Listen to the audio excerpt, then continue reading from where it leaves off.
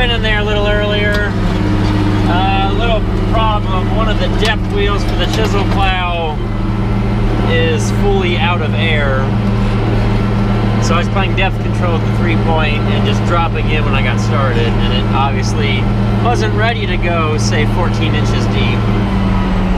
We're not gonna do a, we're only doing a small section. We're gonna get something ready for vegetables. It is, what, Tuesday, May 20th?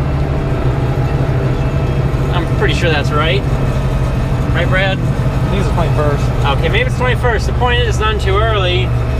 Typically, it. Okay.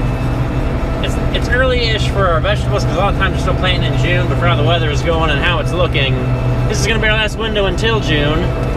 And uh, it's not overly dry, but this has the most slope to get water away. And if it ever does get too wet, we have, not too wet, too dry, we got the pond right there. So yeah, a little bit of spin action. I wish it had a differential lock to the front, but it doesn't. Uh, probably if we do a bunch more chisel plowing with this, put the duals on for more traction. It, the tires are pretty well dry, except for one back one has a little bit of antifreeze in it. So, uh, chiseled pretty okay. Could have been wetter, I guess. It's been drier. So that's been our chisel plowing fun. Uh, we'll catch you guys with more fun farming action.